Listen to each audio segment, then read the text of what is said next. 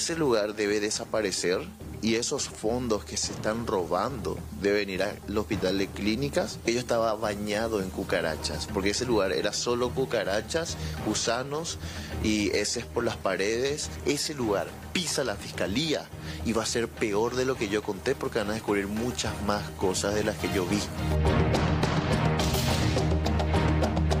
Tenemos una sala de agudos que es donde se recepcionan todos los pacientes que están en crisis. Luego tenemos una sala puertas abiertas donde quedan pacientes con eh, características conductuales más manejables, pero que requieren internación. Queremos conocer más acerca de la vida, entre comillas, de pacientes en el neuropsiquiátrico. Esta denuncia que ya la conocimos aquí en el Noticiero de los Paraguayos es sumamente grave, por eso sumamos ya ahora a Nata con más detalles desde el lugar. Nata, ¿qué pudiste hoy cotejar, corroborar de ese sitio? Es así, Marcelo. Bueno, nuestra publicación de ayer eh, tuvo bastante eco, llegó hasta las autoridades y hoy se constituyó la doctora Laura Bordón directora de Derechos Humanos del Ministerio de Salud, para hacer un recorrido o para tener más informes acerca de la situación actual del hospital, psiquiátrico.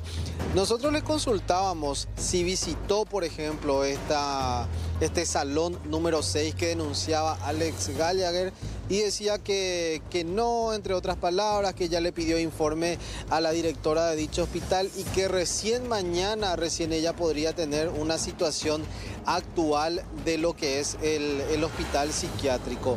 Nos dejó con muchas dudas como medio de prensa si es que efectivamente recorrió las instalaciones, si visitó salón por salón, inclusive le consultamos si constataba que las sábanas estén limpias, que las, paradas esté, que las paredes estén limpias, porque denunciaba que tenían también inclusive hasta excremento este joven.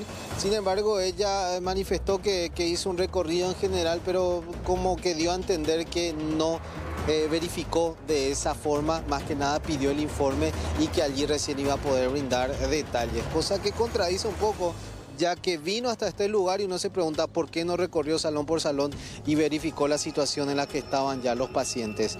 Vamos a compartir la nota que nos daba hace algunos minutos.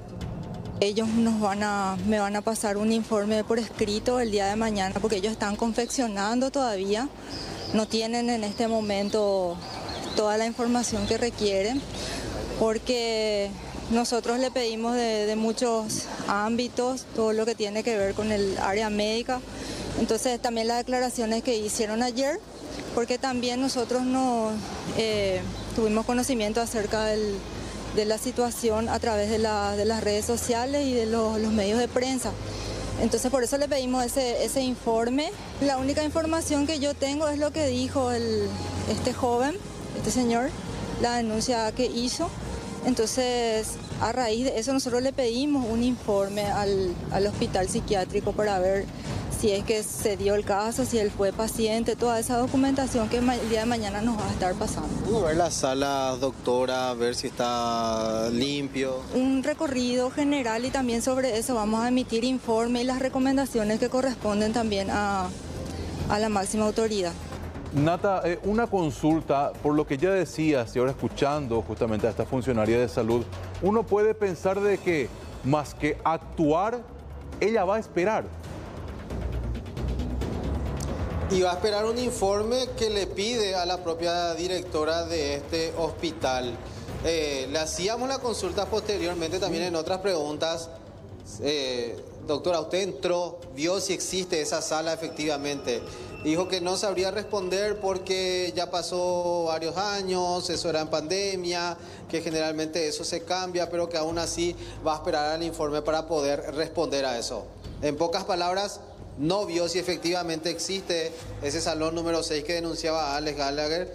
Eh, en otras palabras, cuando le preguntamos si estaba limpio o no las sábanas, nos decían, vamos a esperar el informe para poder eh, responder eso. No dio ningún tipo de respuesta, es decir, ¿Están bien o no están bien los pacientes del hospital psiquiátrico? Es lo que la gente quiere saber, lo que todos queremos saber. Sin embargo, vamos a tener que esperar ese informe que va a elaborar la directora y que finalmente le va a eh, comunicar al Ministerio de Salud para que emita. Ni siquiera nos dejaron recorrer con ellos, acompañarles, ver si es que efectivamente están haciendo una verificación. Nos quedamos aquí donde estamos porque hasta este punto nos permiten y dijeron que iban a estar pasando ya cerca de la una de la tarde las fotografías que se logró sacar del lugar. Pero eh, deja mucho que desear este tipo de constitución porque la propia eh, representante de derechos humanos no supo responder ante esta consulta si están o no en buenas condiciones y si los salones efectivamente están limpios, tienen olor a como refería, si tienen sábanas, por ejemplo, los pacientes para dormir y taparse en caso de que tengan frío durante la noche. No brindó ningún tipo de detalle, más que nada esperemos a ver el informe. Ahora, eh, qué fácil es ser interventor y dejarle al intervenido que te envíe un informe, ¿no?